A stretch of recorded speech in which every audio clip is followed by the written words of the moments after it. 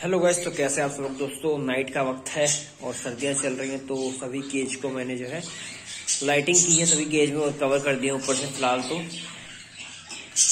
सभी केज ऊपर से कवर किए हैं और इनमें जो है लाइटिंग लगा दी है। इन्वर्टर से 24 घंटे दोस्तों। तो डक्स के लिए मैंने तो लगाया है एलईडी बल्ब जो होता है, क्योंकि इनको ज़्यादा रोशनी की ज़रूरत नहीं है और ज़्यादा गर्माहट नहीं चाहिए होती है। बाकी रैबिट्स के लिए मैंने जो है सौ वाट का बल्ब लगाया है, जो कि चौबीस घंटे चलता है। जिससे कि इनको जो है एनर्जी और हीटिंग मिलती रहती है सर्दी से बचने के लिए। दूसरे रैबिट है, थोड़े मस्ती में है, उनको भी दिया है। एक रैबिट अलग रखा हुआ है मैंने क्योंकि ये बाकी के साथ जो है केज में लड़ाई करता है दोस्तों। बजीज के लिए भी मैंने सौ वाट लगा दिया है। ताकि बजीज को भी कोई दिक्कत ना हो सर्दी से। और ये है मेरे रिंग नेक्स ये देखिए दोस्तों। इनके लिए जो है, उसी की हटिंग वो देखिए रिंगनेट को वो रिंगनेट जो है नीचे बैठा हुआ है। और खाना खा रहा है। तो यही किया मैंने, बाजरा और थोड़ी रोटी की है सर्दियों में। अभी के टाइम के लिए। बाकी इनको फ्रूट दिए जाते हैं दिन में।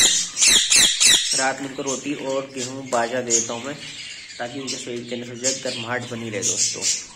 और सौ वाट का बल्ब लगा रखा है गर्मी के लिए। बजीज है नीचे, आपके दिखाएँ ऊपर ही बजीज है कुछ। ये बजीज है मेरे, इनको भी सौ टोल लगाया मैंने।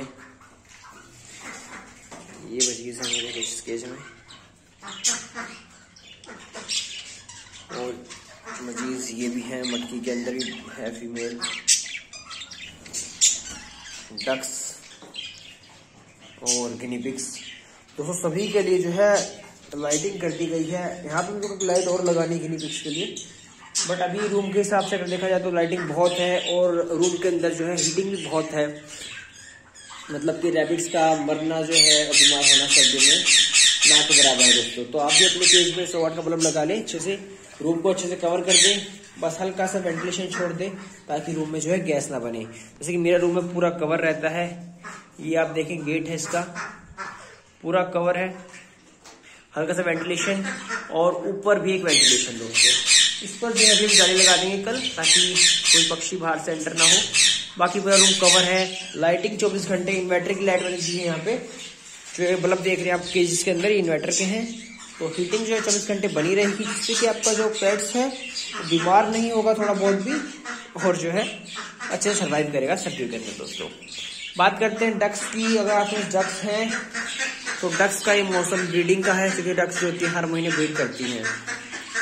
ये ब्रीड कर सकती हैं किसी वक्त, आपको उसका ध्यान रखना होगा डक्स का रेबिट्स भी जो है इस मौसम में जो है अच्छे से ब्रीडिंग कर लेते हैं। सर्दी में तो आपको लगता है कि आपकी फीमेल ब्रीडिंग पे है या फिर हीटिंग पे है?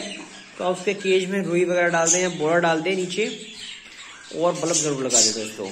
और आपकी रेबिट ब्रीड कर चुकी है तो बेबीज जो आपके होंगे, उनके लिए आप ज़रूर बल्ब लगाएँ, क्योंकि बेबीज का सर्दी में मरना जो है ज़्यादा हो जाता है ठंड की वजह से।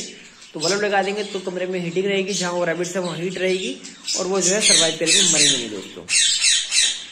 इसमें सिर्फ़ इतना ही। वीडियो अच्छी लगे लाइक करें शेयर करें एंड कमेंट करें। Thank you